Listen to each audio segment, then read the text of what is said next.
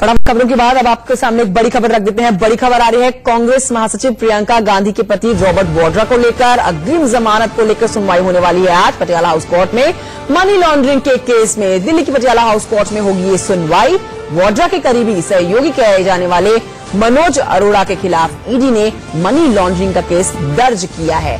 और इस पूरे मामले पर आपको बताएँ कि अरोड़ा को कोर्ट से 6 फरवरी तक के लिए गिरफ्तारी से अंतरिम राहत मिल चुकी है। बड़ी खबर, रॉबर्ट वाड्रा को लेकर है। आज पटियाला हाउस कोर्ट में होनी है सुनवाई।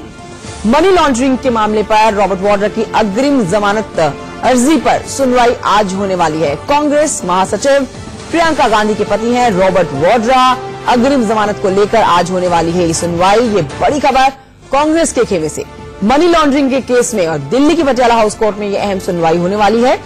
वाड्रा के बेहद करीबी सहयोगी कहे जाने वाले मनोज अरोड़ा के खिलाफ ईडी ने मनी लॉन्ड्रिंग का केस दर्ज किया। और अब बताएँ कि इस पूरे मामले में अरोड़ा को कोर्ट से 6 फरवरी तक के लिए गिरफ्तारी से अंतरिम राहत मिल चुकी है। ईडी का जो दावा है, संपत्ति का असल मालिक रॉबर्ट वाड्रा है। ये रॉबर्ट वाड्रा के ऊपर जो ईडी का शिकंजा कसा हुआ है, उसके आपको मुख्य अंश दिखा रहे हैं। लंदन में प्रॉपर्टी की खरीदारी में मनी लॉन्ड्रिंग का आरोप है। यहाँ पर रॉबर्ट वाड्रा के ऊपर। लंदन के ब्राइंस्टन स्क्वायर में भी संपत्ति खरीदने का मामला है। कई जगहों पर रॉबर्ट वाड्रा के नाम की संपत्ति है। इसी को लेकर ईडी का शिकंजा जो उन पर कसा हुआ है और आज पटियाला हाउस कोर्ट में होनी है अहम सुनवाई।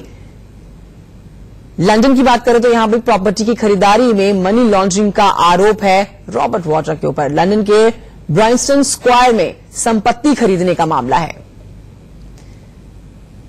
रॉबर्ट वाड्रा जो पिछले कई सालों से मनी लॉन्ड्रिंग के मामले में फंसे हुए हैं। मेरे सहयोगी आशीष सिन्हा जुड़ गए हैं और जानकारी के साथ इस बड़ी खबर पर। आशीष, आज का दिन बड़ा है रॉबर्ट वाड्रा के लिए, क्योंकि पटियाला हाउस कोर्ट में होनी है सुनवाई। देखिए, ज़ाहिर तौर पर, क्योंकि कांग्रेस अध्यक्ष के संबंधी है रॉबर्ट वाड्रा और मनी लॉन्ड्रिंग का ये पूरा मामला है, जिसमें उन्होंने एंटीसिपेटरी बेल जो पटियाला हाउस कोर्ट में दायर की है और अनुमान यही है कि आज सुबह फ़र्स्ट हाफ़ में ही इस याचिका पर सुनवाई हो सकती है। हाँ। दरअसल मनी लॉन्ड्रिंग का ये पूरा मामला वाड्रा के करीबी सहयोगी मनोज अरोड़ा से जुड़ा हुआ है। इसी मामले में वाड्रा ने गिरफ्तारी से बचने के लिए कोर्ट का रुख किया है। दरअसल वाड्रा के करीबी सहयोगी कहे जाने वाले मनोज अरोड़ा के खिलाफ ईडी ने मनी लॉन्ड्रिंग का केस दर्ज किया है। इस मामले में अरोड़ा को कोर्ट से पहले ही छह फरवरी तक के लिए गिरफ्तारी से अंतिम राहत मिल चुकी है। दरअसल ये पूरा मामला लंदन के एक प्रॉपर्टी को लेकर है जिसकी कीमत तकरीबन सत्रह करोड़ रुपए है जो मनी लॉन्ड्रिंग से जिसका सीधा सीधा लिंक है। इंतज़ार दसों या पश्चात करना होगा जब पटियाला हाउस कोर्ट याचिका पर सुनवाई करेगा। बहुत शुक्रिया आपका आशीष सिन्हा इस जानकारी के लिए। कांग्रेस महासचिव प्रियंका गांधी के पति रॉबर्ट वाड्रा की अग्रिम जमानत को लेकर आज सुनवाई होने वाली है। मनी लॉन्ड्रिंग के केस में दिल्ली की पटियाला हाउस कोर्ट में यह सुनवाई होगी।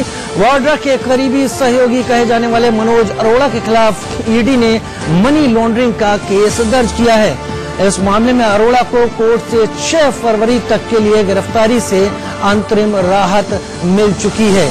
तो अब जो कि रॉबर्ट वाड्रा की तरफ़ से बात है कि उन्होंने अंतरिम इंटरिम बेल के लिए, अंतरिम जमानत के लिए ये याचिका दाखिल की है कोर्ट के सामने और आज उस पर सुनवाई होने वाली है।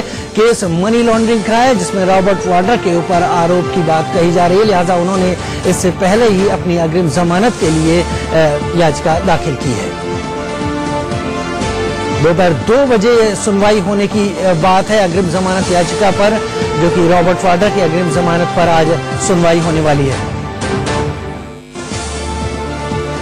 सीनियर एडिटर राकेश कुमार सिंह हमारे साथ ज़्यादा जानकारी के साथ पटियाला हाउस कोर्ट से जुड़ रहे हैं। राकेश कुमार सिंह एक ऐसे वक्त में जबकि 2019 का चुनाव सिर बाय है और सामने आ गया है उस पर अगर रॉबर्ट वाड्रा अग्रिम जमानत याचिका के लिए जाते हैं आ, उन्हें यह जमानत उनकी मंजूर हो या ना हो या अदालत के विवेक पर तय होता है लेकिन दोनों ही स्थितियों में इस क्रूशल मूवमेंट पर विपक्ष के पास भुनाने का एक मौका तो आ ही जाता है। सिलसिलेवार बताएँ कि जमानत याचिका पर सुनवाई कब है क्या होगा और उसके क्या दोनों पार्टियाँ, विपक्ष और पक्ष, किस तरह से देख रहे हैं?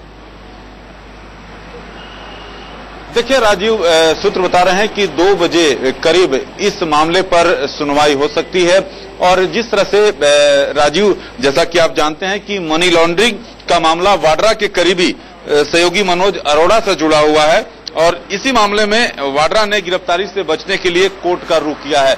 साफ़ तौर पर इसको लेकर सियासत भी तेज होगी, लेकिन ये देखना काफ़ी महत्वपूर्ण है कि इस पर कोर्ट क्या फैसला लेती है।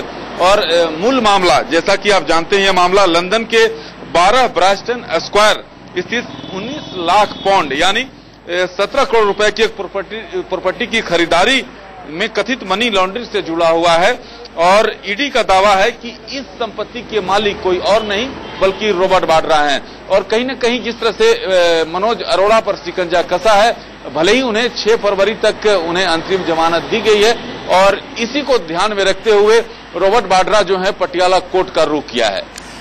राकेश कुमार सिंह बहुत साधारण सी बात है। अगर कोई अग्रिम जमानत आजकल के लिए जाता है तो ये माना जाता है कि उसे इस बात का अंदेशा करीब करीब हो चुका है। या तो अपने वकीलों के ज़रिए या खुद भी केस के दस्तावेज़ देखते हुए कि उसकी गिरफ्तारी हो सकती है। तो ए, क्या ऐसा लगने लगा है रॉबर्ट वाड्रा को या उनके पक्ष को कि ए, इस मामले में प्रोसिक्यूशन उनकी गिरफ्तारी के लिए आगे बढ़ सकता है? देखिए जिस तरह से ईडी का सिकंजा कस रहा है उससे कहीं ना कहीं साफ़ है कि रॉबर्ट बाड्रा पर आने वाले समय में सिकंजा कसेगा, क्योंकि मनोज अरोड़ा, ये रॉबर्ट बाड्रा के काफ़ी करीबी हैं और जिस तरह से ईडी ने जो मनी लॉन्ड्रिंग का जो उसमें जो सूत्र निकाला है, कहीं ना कहीं उससे जो रास्ते निकलते हुए दिख रहे हैं, उसमें कहीं ना कहीं रॉबर्ट बाड्रा से जुड़ा हुआ दिख रहा है और ऐसी स्थिति में आने वाले समय में रॉबर्ट बाड्रा पर शिकंजा कसेगा और इसी को ध्यान में रखते हुए रॉबर्ट वाड्रा जो है, पटियाला कोर्ट का रुख किया है। अब ये देखना काफ़ी महत्वपूर्ण है कि क्या पटियाला कोर्ट इस को लेकर क्या रुख अख्तियार करती है या अंतरिम जमानत रॉबर्ट वाड्रा को मिलती है या नहीं, ये अब से कुछ देर बाद स्पष्ट होगा। और राकेश कुमार सिंह, इस बात की पूरी उम्मीद भी है कि ये राजनीतिक एक मुद्दा तो ज़रूर बनाने की कोशिश की जाएगी, क्योंकि 2019 का चुनाव ठीक सामने है। बहुत शुक्रिया राकेश कुमार सिंह इस तमाम जानकारी के लिए। बहुत